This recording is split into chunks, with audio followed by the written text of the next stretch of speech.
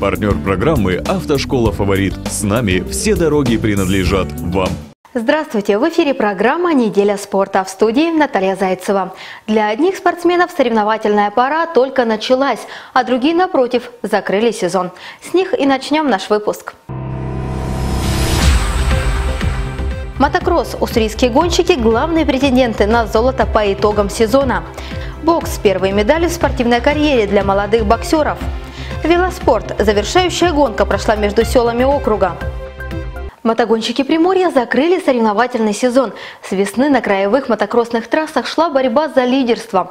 Уссурийская команда в главных претендентах на золото сезона.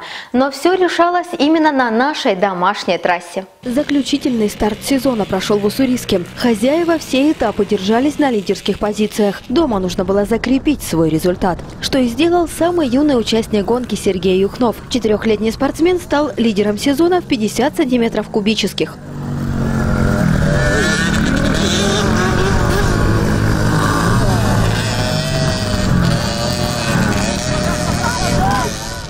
Перерыве между стартами детей на посты заступали родители. Папы – главные механики. Проверяли техническую часть мотоцикла и очищали его от грязи, которой оказалось немало после затяжных дождей. Да и организаторы дополнительно полили трек. Это так и должно быть. Это настоящий мотокросс. То есть вот именно вот сейчас э, грунт такой, самый вот раскатали специально перед гонкой. Среди гонщиков на мотоциклах с кубатурой 65 у сурийцев в лидерах не оказалось. Зато 85 и 125 сантиметров кубических абсолютный чемпион Никита Коровко. В классе 85 выступала единственная девушка Ольга Верясова из партизанского района. Всего год как мотогонщица в седле. По стопам отца оказалась в техническом спорте и под его же руководством готовилась к гонке. Папа строгий тренер. Строгий. Что говорит? Говорит, газуй, газуй, не тормози. Неудачно уссурийские старты прошли для владивостокского спортсмена Егора Протопопова. На одном из виражей Егор потерял сознание и упал. Заезд остановили, парню понадобилась серьезная медицинская помощь. В чувство гонщика привели, но участие в соревнованиях для Егора закончились. Еще одно золото по итогу сезона у Петра Шевченко. Спортсмен выступал в классе профи, где гоняют мотоциклы 500 сантиметров кубических. Не увидели зрители другого лидера этого класса, младшего Шевченко, Глеба. Гонщик с командой уехал на соревнования в Корею. Если одни отсутствовали, то другие напротив прибывали. Из тренеров в гонщике вернулся Сергей Казаков, чемпион мира по ледовому спидвею 1982 года. Даже не знаю, как это объяснить. Что-то что такое. Просто мотоцикл свободно стоял. Ну, думаю, выйду так для себя перед гонками на льду немножко размяться. Ну и думаю, что уже, последний мотокросс, закрытие сезона, потихонечку потренируюсь, разомнусь. Они готовятся больше, чем молодежь. Они готовят молодежь, а потом готовятся сами, потому что у них больше работы получается в два раза. Ну и так вот Артеменко у нас находится на трассе постоянно, тут подравнивает, воду спускает, шевелится. Ну, движение жизнь. В ветеранском классе Казакова обошел его одноклубник Владимир Матяш. В любителях золотом отметился тоже уссурийц Александр Ковальчук. И по итогу сезона местная команда УЛРЗ оказалась на вершине пьедестала. Первые медали не просто в учебно-тренировочном году, а в спортивной карьере у маленьких боксеров. Более 60 пар сошлись в ринге. Самыми юными участниками спаррингов стали шестилетки. 120 мальцов стали участниками соревнований по боксу. Вместе с уссурийцами в ринг вышли спортсмены из других городов Приморья. Для детей это первые соревнования в учебно-тренировочном году, а для некоторых и первые в спортивной карьере. Малыши старались применить весь известный арсенал, а родители срывали голос, поддерживая юных бойцов. Внимание родителей, какой шум, сколько болельщиков, там крику, визгу, вот, некот слез обязательно, там проиграл, плачут они, и родители вместе с ними плачут. По итогу соревнований уссурийские боксеры оказались первыми в общекомандном зачете. Следующие соревнования в зале бокса пройдут в конце ноября. Уссурийцы примут в своем ринге гостей на турнире памяти Горбачева. Впереди короткая реклама. Далее о выпуске узнаем сильнейшие детские команды по футболу и проедем по маршруту велогонки между селами Уссурийска.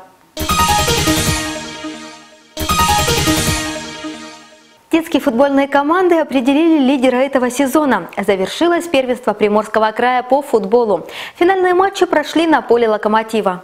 Финальные матчи первенства Приморского края отыграли юные футболисты. Среди детей 10 и 11 лет в отборочном розыгрыше стартовало 25 футбольных дружин. Сначала команды сыграли в подгруппах. В полуфинал прошли составы двух уссурийских клубов «Мостовик-2006» и «Локомотив-2006». Мостовички не смогли остаться в борьбе за медали, а вот дети «Лока» попали в финальный розыгрыш. Решающие матчи прошли по круговой системе, где встретились подопечные Александра Левошка «Локомотив», воспитанники его сына Сергея Левошка, излучая энергии Владивостока, Восток, а также Находкинский океан и «Новая энергия» из краевой столицы. Последние остались в шаге от призов. Уссурийцы с бронзой. Вперед хозяева пропустили «Океан» и «Луч энергию». Среди команд 2005-2004 годов рождения также отборочный этап. Прошли уссурийские парни из команды «Локомотив». Выйдя в финал, хозяева поля выиграли два матча из трех, но по заработанным очкам стали лишь бронзовыми призерами. Золото у Находкинского океана, серебро у «Шахтера» из Артема. Велосипедисты наслаждаются последними теплыми деньками осени. Красоту природы велолюбители наблюдали во время гонки. Между селами Долины и Баневурова прошли соревнования с раздельным стартом. Спортсмены проколесили 17 километров за медалями. Велолюбители завершили сезон на уссурийской гонке. 16 спортсменов задолго до старта приехали к месту сбора. Всем необходима разминка, чтобы проверить велосипеды перед заездом и немного размяться. Президент Уссурийской федерации велоспорта Александр Андреев с собой привез даже специальный станок. Вообще это зимний вариант велосипедизма в Уссурийске. Вот. Но также он используется для разминки. Для чего? Потому что он позволяет контролировать пульс Просто катаясь, невозможно держать постоянный пульс, который э, запустит все механизмы спортивные в человеке. Первый такой станок свой я поломал на второй день. Я на скорости 60 км в час летел с него и ударил, проломил педалью, в общем, э, один из валов. А так я даже могу попробовать без рук. Гонка проходила с раздельным стартом. Каждую минуту новый спортсмен выезжал на дистанцию. Первыми преодолевать 17 километров отправились женщины. Всего две участницы решили состязаться с мужчинами. Женщин мало, я думаю, может быть бояться, может быть это тяжело, потому что это очень тяжелый вид спорта, циклический вид спорта, где нужно часами сидеть в седле и крутить педали. Это очень тяжело на самом деле. Расстояние пролегало от села Долины до Баневурова. Там развороты и в обратную сторону, в финишной черте. Маленькое время между стартами участников позволяло держать соперников в поле зрения. Минутный интервал дает э, шанс участникам э, видеть э, участника, который вставал перед ним. И таким образом они тянутся друг за другом, участники, и их результаты улучшаются. В тройке лидеров оказались гости из Владивостока. За 25 минут Евгений Витмановский проехал дистанцию, финишировал первым. Его земляки Александр Адаменко и Константин Селюков замкнули тройку призеров. А вот уссуриец Виталий Михеев остался в шаге от призов. Ему не хватило минуты до призового места. Сегодняшний выпуск завершен. Это была программа «Неделя спорта». В студии работала Наталья Зайцева. До встречи!